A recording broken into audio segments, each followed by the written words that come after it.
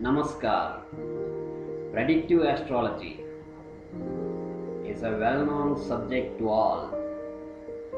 Some believe it as a science and some believe it as pseudoscience. Some accept it and some not.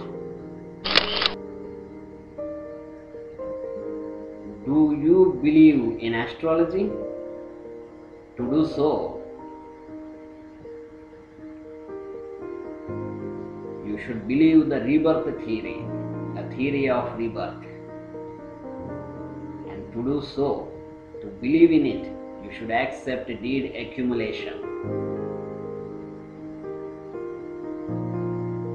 You should accept planetary influence and you should believe in oneness of all. Besides, above all, to accept predictive astrology, believe it as science, you should have the knowledge of it.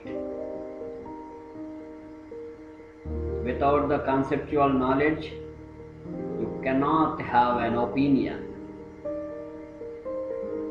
The conceptual knowledge can be attained in multiple ways,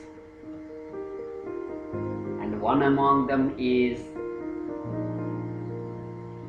having first hand knowledge with the help of some basic words.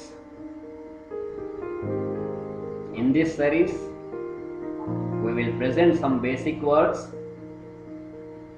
with simple and solid insights. Stay tuned. We will be back soon. You can provide your suggestions in the comment box also. Thank you.